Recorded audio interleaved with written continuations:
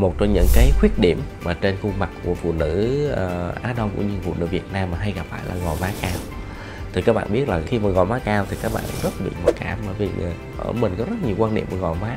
Dù mà má cao thì cái người đó có một cái quan điểm rất nguy hiểm đó là người đó sát phu chẳng hạn. Ừ, khi mà gò má chúng ta cao. Đó thì các bạn biết là gò má cao thì nó có hai cái việc cao. Một là chúng ta cao mặt trước là chúng ta cao vùng này.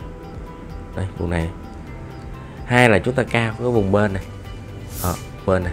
Khuôn mặt chúng ta nó tạo thành chỗ này thì hõm trong chỗ này nó phình to ra. Ờ, à, sau nó hõm xuống. Nó làm khuôn mặt nó không có đẹp. Đây là chúng ta cao đây. À, thì thường á là các bạn đã bị cao gò má thì là cao cả hai luôn cao mặt trước và cao bên luôn. Tuy nhiên cũng có một vài bạn là chỉ cao cái bên thôi. Các bạn chỉ cao trước thôi. À, nhưng mà đa số là chúng ta cao hai bên luôn thì chúng ta sẽ tiến hành cái kỹ thuật là là hạ xương gò má.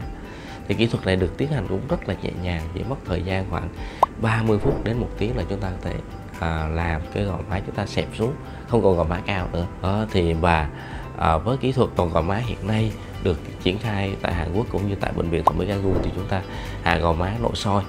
Cho nên cái kỹ thuật đó rất là nhẹ nhàng mà mang lại hiệu quả cao. Cũng như là cái sự nghỉ dưỡng à, sau phẫu thuật rất là ít. Vâng, xin cảm ơn các bạn.